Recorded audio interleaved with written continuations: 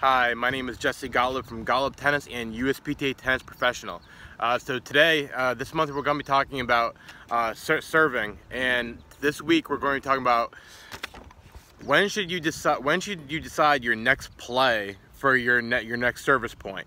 So what what a lot of people do, a lot of my clients, is that they they walk up to the line, they bounce they bounce it, then they're thinking about oh where should I serve the ball and basically that's it. Most of the time they're just trying to get the ball in.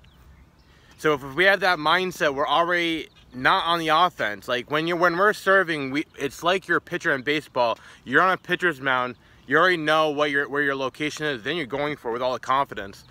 But if we're at the baseline and we're just bouncing the ball, thinking like right in the moment, and then serving, it's a lot. Of, it's it's really hectic. We're, we're, we're in a rush and we're, we're not really in control.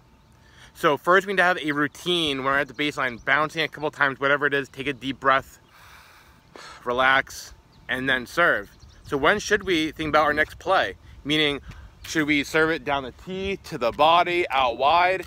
And then will the next shot, should we go cross court with it? Should we reverse them?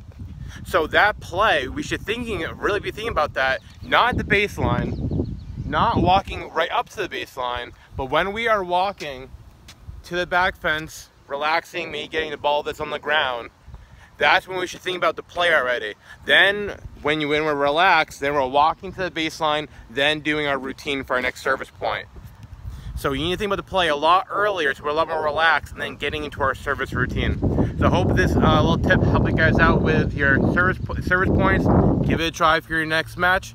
If you're looking to improve your tennis, you can text me at 774-328-6736. All right, talk soon. Bye.